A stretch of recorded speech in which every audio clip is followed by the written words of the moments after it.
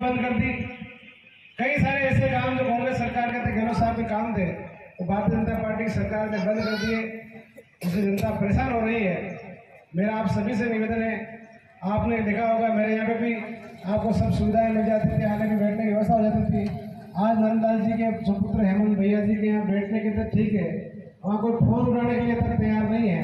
इसलिए आप सभी से निवेदन है, पाँच साल इनको झेलना ही और इनकी जो अत्याचार है को होते रहेंगे, उनको झेलने के लिए।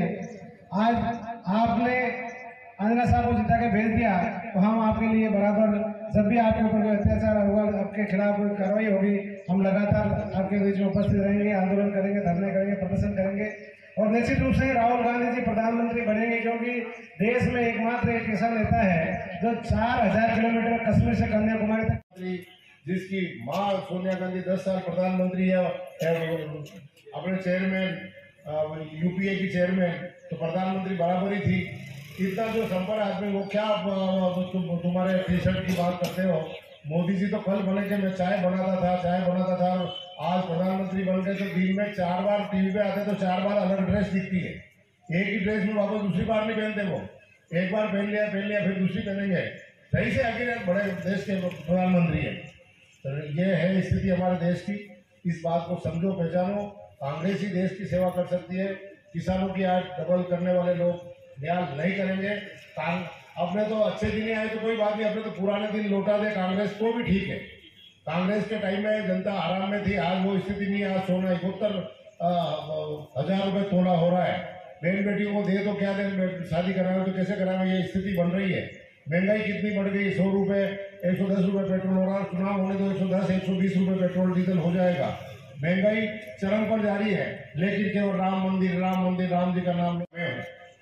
किसान आदमी हूँ। अफीम किसानों की लड़ाई तो मैं लड़ूँगा, इसमें कोई दो राय नहीं है। अफीम में क्या करना, क्या नहीं करना, मुझे अच्छी मालूम, अच्छी तरह से मालूम है, किसान को खुद को मालूम नहीं, उससे ज़्यादा जानकारी मेरे को है। यहाँ का सांसद जो होता है, वो अफीम अफीम नीति बनाते समय उसमें सदस्य होता है तो अपने सुझाव रखूँगा और अधिकारियों से मनाएँगे और किसानों को राहत देंगे। लेकिन राहुल गांधी जिन मुद्दों के लिए लड़ रहा है कि देश में निसंदेह गरीबों की गरीबी और बड़ी है और पैसे वाले और ज़्यादा पैसे वाले हुए हैं तो एक एक परिवार की महिला को इकाई बांधते हुए एक एक लाख रुपए एक महिला के खाते में हर साल आएँगे एक लाख रुपए। और पाँच साल की सरकार है तो पाँच लाख रुपए की मदद मिलेगी। और नरेगा में मजदूरी दो सौ रुपये है अभी।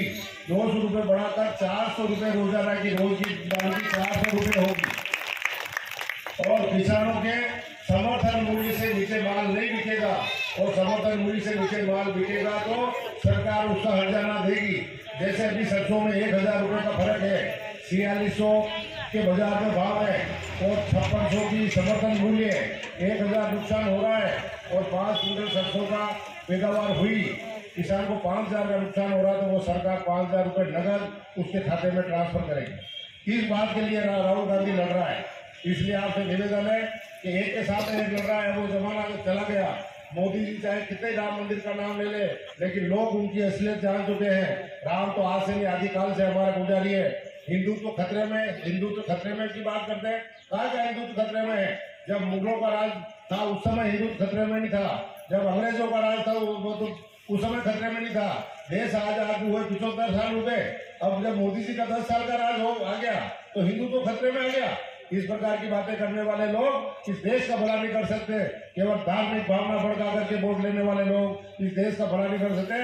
पूरी करनी हो तो इन गारंटियों का भी भरोसा करना, नहीं तो बाकी ये पार्टी भरोसा करने का भी नहीं है। इसलिए मैं उन गारंटियों का ज़िक्र नहीं कर रहा हूँ, जो चौदह में गारंटी दी थी। अगर आपको मनन करना चाहिए, याद करना चाहिए कि वो कौन सी गारंटी थी जो पूरी नहीं हुई। और बाकी हम हमारे राहुल गांधी, पूर्व से पश्चिम तक, उत्तर से दक्षिण तक हिंदुस्तान की यात्रा कर चुके हैं पैदल और बस में। चार हज़ार किलोमीटर चलना, पाँच हज़ार किलोमीटर पैदल चलना कोई छोटी मोटी बात नहीं है। और किसी संत महात्मा ने या किसी भी राजनेता ने इतनी लंबी यात्रा लगातार नहीं की होगी। तो धीरे धीरे करके तो महाराज लोग इससे ज़्यादा चल लेते हैं। लेकिन लगातार क्रमवार कि कन्याकुमारी से